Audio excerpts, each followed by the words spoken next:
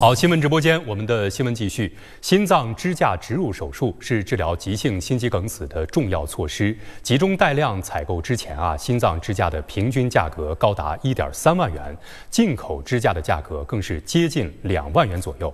群众对高昂的价格反应强烈。二零二一年的一月份，心脏支架集采落地了，平均价格降到了七百到八百元。三年来，已经累计有超过三百七十万名患者植入了重选心脏支架，占心脏支架使用量的百分之九十五以上。今年八十多岁的向东林老人是湖南省第一例使用国家集采重选冠脉支架的患者。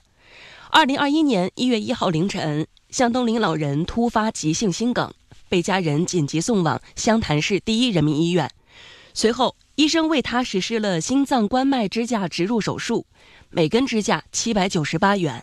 三年多时间过去，老人生活状态依然良好。我妈妈做完这个手术以后啊，心也不慌了，心情也好了，吃饭也有胃口了，也是减轻我们做子女的负担。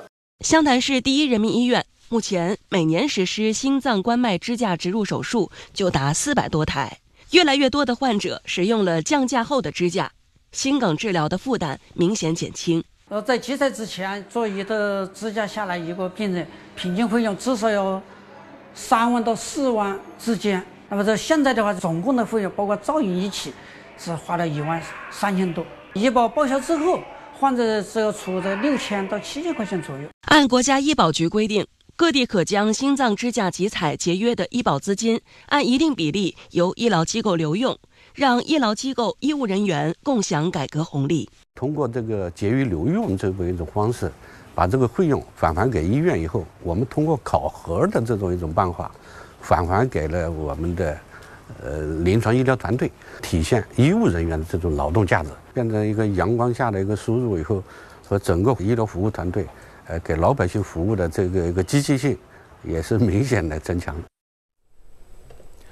心脏支架植入手术是治疗急性心肌梗死的重要措施。冠脉是给心脏供血的血管，那一旦发生了狭窄，心肌供血不足，严重的会导致心肌的坏死，甚至会影响到心脏功能，还会危及生命。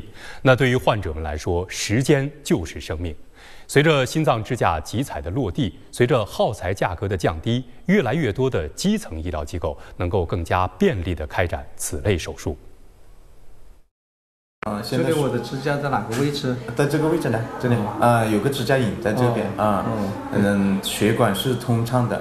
在湖南省娄底市双峰县人民医院，今年五十四岁的贺卫东，每隔三个月就会前来复诊。二零二二年一月，贺卫东因持续胸痛被家人紧急送医，经确诊为急性心梗，医生马上实施了心脏支架植入手术。但在以前，双峰县的医疗机构却因为硬件设备不足、心脏支架昂贵等原因，无法开展此类手术。急性心梗患者也只能转院到上级医院。以前我们这个急性心梗的患者，呃，在我们这边不能做这个介入手术的时候，那只有外转到那个娄底啊、长沙这些地方去。那路途的话呢，就可能要一两个小时。啊，这个路途上面的风险，还有对后患者的预后都。非常的不利的。二零二一年八月，双峰县人民医院介入医疗中心成立，也是该县第一个能够开展这类急救的医疗机构。由于这个集采的政策，这个支架也这么便宜，对。医院来说，这个压力也很小；对老百姓来说，压力也很小。和我们现在是二十四小时都能开展这个支架手术。对急性心梗的患者，我们现在的抢救成功率啊还有病人的恢复啊、愈后，都是得到了极大的这个提升。开展这个介入治疗，能有这个抢救的机会，不然我要是转诊的话，那就不一定我这个命还在。记者从国家医保局了解到，从全国来看，集采后。开展心脏支架植入手术的医疗机构，从二零二零年的两千四百余家增加至二零二三年的三千六百余家，其中二级医疗机构从一千二百家增加到近一千七百家。这与近年来卫生健康部门加强县级胸痛中心能力建设的努力分不开。急性心梗患者在更多县级医院就能做支架植入手术。在挽救生命的赛跑中，抢回更多宝贵的抢救时间。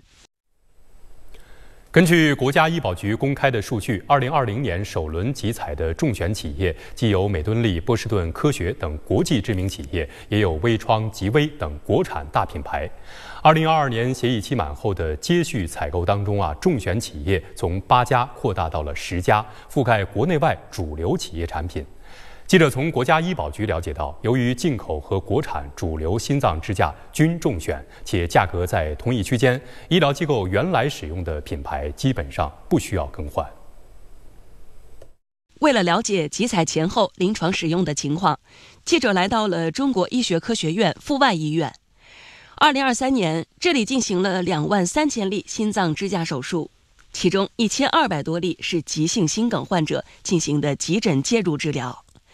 在介入导管室，记者发现，阜外医院一共配备了七个品牌的支架产品，其中三种是进口支架，四种是国产支架。我们现在就这七种全部都是中选产品，基本上就价格来讲，基本上都是在七百八到八百五之间这个范围，就是按照它的中选的价格。那么这些支架在集采前也是我们常常态化、常规工作当中使用的支架。啊，所以无论是国产的还是进口的，还是能够满足我们临床的这个需求的。从临床上我们的反馈来讲，手术的安全性、有效性等等也没有听到太大的变化。集采落地初期，由于市场格局调整，曾出现过局部地区部分产品供应不及时的情况。目前，记者注意到，在每个品牌的柜子里，从针对小血管的直径为二点二五毫米的规格。到针对主干病变的直径四点零毫米的规格，再加上不同的长度，同一款产品配备了几十种型号。比如说，你看这是二点二五型号呀，包括这个这个二点五型号、二点七五、三点零等等，它是一套，然后加上不同长度，是按这种去配比。各个长度哎，对对，都得有，都得有，因为你。它是病变，不见得是哪种情情况，所以要根据病变情况选择适合它的支架。因为在集采初期可能存在一些供货问题，个别供货商的问题，但到目前，啊，已经三年了，这个问题基本上解决了，所以我们总体供货还是能够，呃，保证临床的这种需求的。冠脉支架集采减少了中间流通的环节，挤压的是包括流通环节在内的水分。而除了价格呢，大家更加注重质量。那么价格下来了，产品的质量如何呢？三年以来，集采又给企业带来了哪些变化？我们继续来看记者的报道。记者来到一家位于山东威海的心脏支架生产企业，这家企业的产品在很多医院都有使用。体采中选后，销量连年提升。在无菌、恒温、恒湿的生产车间里，工人们正在对生产的铬合金冠脉支架进行检测。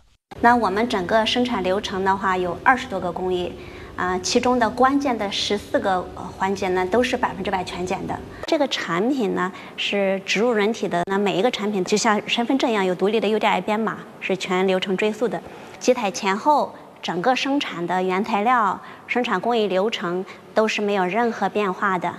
同时，记者了解到，药监部门也将所有集采中选产品列入了监管重点，做到企业监督检查、产品抽检、不良事件监测三个全覆盖。在威海，当地的市场监管和药监部门就对集采中选支架企业给予更多的抽检。心脏支架产品其实一直就是一个重点监管的产品。啊，只不过是因为这个产品进了集采之后，我们需要监管的频次更高了。因为呃，集采以后，产品的整个的这个使用量是大幅上升的。近几年的这个抽检的结果来看，呃，他家的产品是一直是合格的。同时，公司负责人告诉记者，集采前，冠脉支架采用分级代理经销机制，产品需要一级、二级、三级经销商，交易环节多，回款周期长。个别医疗机构回款能超过一年甚至更长，现在这一情况完全改变了。比如说，您看这张电子发票哈，是春节前呃我们企业发的货，那么这是二月十九号嘛，一过春节，医疗机构就付款了，呃企业端就厂商哈和这个机台的物流配送商和医疗机构三方线上网上的采购协议签署。那么采购协议当中会明确规定，啊，三十天回款。那同时呢，这个机台落地之后呢，国家医保局也配套推出了像呃国家医保基金预付啊国家医保基金直接支付等这些政策措施，这对企业的资金成本、财务负担是一个非常大的改善。记者了解到，三年来，这家心脏支架生产企业从过去供货一千多家医院，发展到如今的两千多家。企业的产能也从集载前的每年五十万条，逐步增加到二零二三年的一百二十多万条。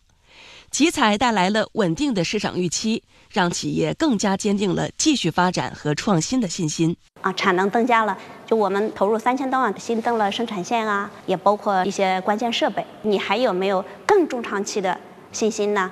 那就是是不是还投创新研发？啊，那我们呢是坚定不移的投创新研发的。